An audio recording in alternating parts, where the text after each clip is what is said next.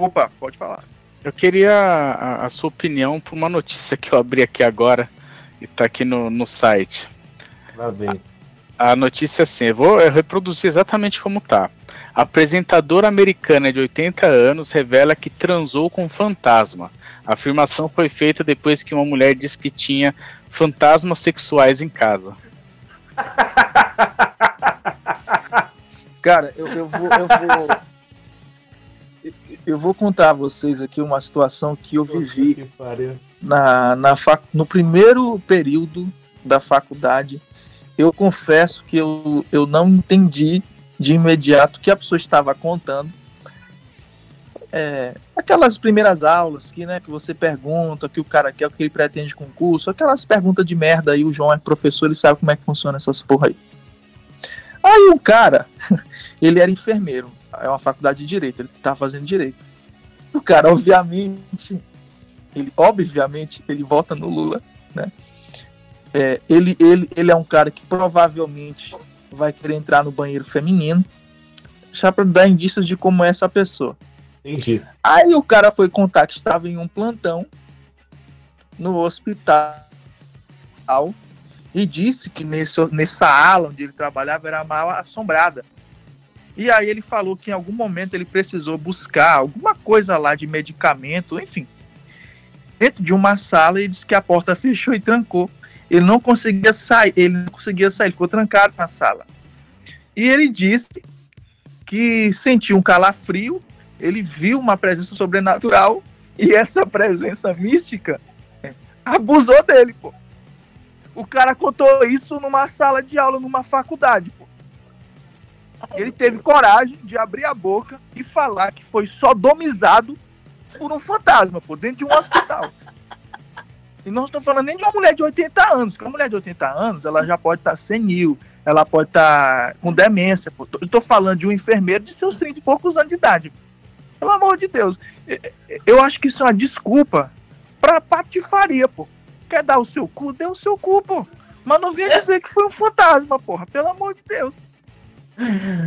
Isso aí tá parecendo aquela história de John Kleber, né? Que a mina. Aquelas coisas montadas de John Kleber. Que a mina foi. Ficou grávida do Pokémon, que ela tava buscando um Pokémon e ficou grávida, tá ligado? Do Pokémon. É tipo isso, velho. Pelo amor de Deus, velho. É terrível, é terrível. É... No Amazonas até hoje. Tem gente que diz que engravidou do Boto, pô. Aí, ó. Ah, mas e os maridos acreditam, pô. Os maridos acreditam. Mas o do Boto é cultural, né, cara? Eu andei muito para aqueles lados lá e, e, o pessoal me contava o que acontecia, né? E aí é justamente por ser muito corno, né? É, o cara, a mulher saía, dava para um maluco que não tinha como que explicar e falava que tinha a lenda do Boto, os caras eram ignorantão. E, e aí o pior, Gabriel, não sei se eles te falaram isso, sabe o que os maridos faziam? Matavam os Botos, cara. Puta que pariu. Mano, é, é um negócio assim que eu fico. É por isso que o Lula aí tá, pra, tá com essa votação. É muito gente ignorante, cara. Concordo, concordo, concordo. Porra, os Boto podiam retornar, reencarnar, né? Querer matar esses caras. Comer o cu deles e, e matar depois esses filhos das putas, né, cara? É foda. Não, e assim, tipo, a gente tá falando de, de, de paradas que não existe, tá ligado?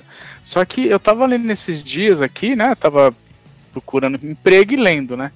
E aí eu tava lendo ali no Twitter uma nova classificação, sabe, desse LGBT, puta que eu pariu a mais? Tem um agora que é de. Como é que fala? Eu, eu não sei, eu não sei falar corretamente como que eles, eles se chamam. Mas é como, se, é, é como se fosse um homossexual de lazer o que que esse cara faz? Esse cara, ele é. Ele é não, não, não, peraí, peraí. O, o cara é um monstro de Lázaro. Ele não é o tempo todo. Não, deixa, deixa eu explicar é, é pra tipo, vocês. É tipo fumante social. É, deixa, deixa eu explicar pra você. Você tem a sua mina, tranquilo, você é um hétero. Só que aí quando você sai ali pra tomar uma cervejinha tal, aí você, ah, hoje tô de boa, já vou dar o cu, tá ligado? E aí. E aí o cara vai. Aí só que se pergunta pra esse cara, ah, então você é, é gay? Não, não, não. Eu sou homossexual de lazer. É que nem entrevista de emprego. Você fuma? Não, so, socialmente. Socialmente. Né? Socialmente. Você dá, né? você dá o cu, socialmente. socialmente.